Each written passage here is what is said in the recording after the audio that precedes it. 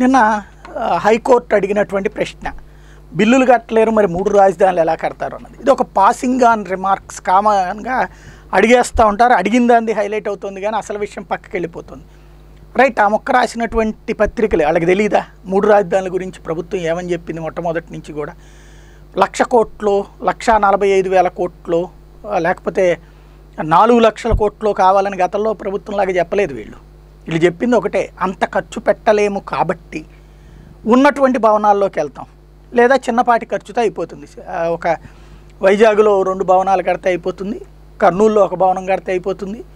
Already ఇక్కడ assembly ఉంది కాబట్టి ఇక్కడ కొత్త భవనాలు అక్కర్లేదు. అసెంబ్లీ పక్కన క్వార్టర్స్గా కట్టించినటువంటి భవనాలు అవి యూసేజ్లోకి తెస్తామని. అంటే ఒక రెండు మూడు వేల కోట్లతో అయిపోయేటువంటి పని మ్యాక్సిమం అదే ఇప్పుడు దీనికైతే మాత్రం ఆల్రెడీ పాత గవర్నమెంట్ ఇచ్చినటువంటివే నలభై మూ నలభై మూడు వేల కోట్ల దాకా టెండర్లు పిలిచేసేసి పనులు ఇచ్చేశారు.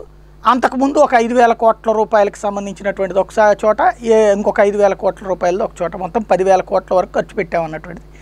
లెక్క చెప్తున్నట్టు పదివేల కోట్లు అయ్యి నా నాలుగు లక్షల కోట్లకు లెక్కేసుకున్నాం అప్పుడు. కేంద్ర ప్రభుత్వాన్ని అడిగింది నాలుగు లక్షల కోట్లు. ముందుగా కావాలంది లక్ష లక్ష ఇరవై మూడు వేల కోట్లు. అంతకు ముందు చెప్పింది నలభై మూడు వేల కోట్లు. ఓవరాల్గా అది నాలుగు లక్షల కోట్ల దాకా పట్టుకెళ్ళారు. ఆ రేంజ్లో నాలుగు లక్షల కోట్లు అక్కర్లేకపోయినా కనీసం మినిమం ఇన్ఫ్రాస్ట్రక్చర్ ఏరియా అంతా రోడ్లు వేసి అండర్ గ్రౌండ్ డ్రైనేజీలు కట్టి నాలుగు లైన్ల రోడ్లు విస్తరించి రాజ్భవన్ గీజ్భవన్ ఇవన్నీ ఆ మట్టిలో కట్టాలంటే ఖచ్చితంగా భారీ వ్యయమే అవుతుంది. ఆ భారం భరించలేమన్నే కదా ఇది చేస్తున్నాం అంటున్నది. మళ్ళీ అది తెలియదా కోర్టుకి? కోర్టుకు కూడా చెప్పున్నారు కదా ముందే ఈ విధమైనటువంటి. అయితే మధ్యలో ఆ న్యాయమూర్తులు వెళ్ళిపోయారు కాబట్టి ఇప్పుడు కొత్త న్యాయమూర్తులు వచ్చారు కాబట్టి అడిగినటువంటి ప్రశ్న అవుతుంది. రానున్న రోజుల్లో దీనికి సంబంధించినటువంటి అంశాలలో ఇక్కడ మూడు రాజధానులు కట్టరు. ఆల్రెడీ ఉన్న నగరాలలో ఉన్నటువంటి భవనాల్లోనూ లేదా అతి తక్కువ ఖర్చుతో అయ్యేటువంటి భవనాల్లోనూ కూర్చోవడానికి వీలుంటుంది. రెండు చోట్లే కట్టాల్సింది. అది అక్కడ హైకోర్టు లేకపోతే ఇక్కడ సెక్రటేరియట్ను రాజ్భవన్ ఇట్లాంటిది కొంత అవసరం ఉంటుంది. వైజాగ్లో వచ్చేటప్పుడు ఇక్కడికి వచ్చేటప్పటికి అన్నీ కట్టాల్సినటువంటి పరిస్థితి అన్నదే చెప్పుకొచ్చింది. అది రానున్న రోజుల్లో ఇంకా వాదోపవాదాలు చాలా ఉంటాయి. అంటే ఇక్కడ అసలు విషయం పక్కకి వెళ్ళిపోయింది ఇక్కడ బిల్లులు ఎగ్గొడుతున్నారు అన్న చర్చ కాస్త పోయి దాన్ని అమరావతిలోకి లింకప్ చేసేసుకున్నారు. మూడు రాజధానులు తప్పైపోయి. అసలు ప్రారంభించకుండా అడ్డుపడిన తర్వాత ఇంకెందుకు పూర్తి కాలేదంటే ఏమని చెబుతారు దానికి?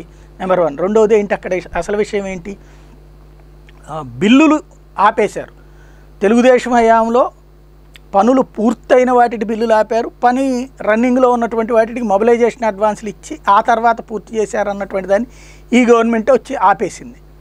అటు ఇటు కాకుండా నష్టపోయినటువంటిది ఆనాడు ప్రభుత్వాన్ని నమ్ముకున్నటువంటి వాళ్ళు ఎవరు సొంత పార్టీ కార్యకర్తలైనటువంటి వాళ్ళు కొంతమంది. ఇంకోటి చాలామంది ఏ పార్టీ పవర్లో ఉంటే వాళ్ళతో ఉంటుంటారు కాంట్రాక్టర్లు. ఆ విధమైనటువంటి వాళ్ళు ఇప్పుడు ఇబ్బంది పడుతున్నటువంటి పరిస్థితి. అసలు చర్చ జరగాల్సింది అది పాపం వాళ్ళు అన్యాయం అయ్యారు. పని పూర్తి చేసినోడు అన్యాయం అయ్యాడు. చేయనటువంటి వాడు హ్యాపీనే. వాడు మొబిలైజేషన్ అడ్వాన్స్ తీసుకున్నాడు వాడి మీద ఏ కేసులు లేవు వాడు హ్యాపీగానే తిరిగేస్తున్నాడు. పని పూర్తి చేసినటువంటి నిజమైనటువంటి కాంట్రాక్టర్లు మాత్రం అన్యాయానికి గురయ్యారు. చర్చ జరగాల్సింది అది. కానీ ఇక్కడ వీళ్ళ స్వార్థం ఏంటి? ఈ పత్రికల్లో హైలైట్ చేసిన వాళ్ళ స్వార్థం.